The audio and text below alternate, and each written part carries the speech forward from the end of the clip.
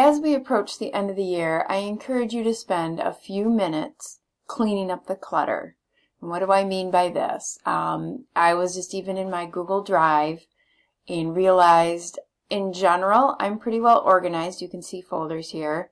But I started looking and I have a lot of things down here that either I need to delete, they weren't, didn't end up in a folder, or I need to organize. Um, it's as simple as organizing. You can pick up things and you can drag them into folders up at the top, or I could access things on the side. Um, so it's a good idea to clean that clutter up right there. I also suggest that you have your students do this. It's a good idea and kind of a good cleansing activity at the end of the year. Sort through things that you want to keep and things you don't want to keep. Can you put them in folders?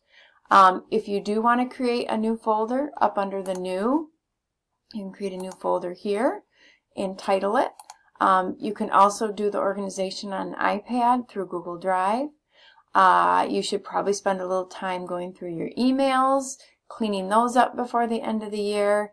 And then also it would probably be a good idea on your computers to clean up your um, files. Take a look. Do you have files that need to get thrown away, sorted?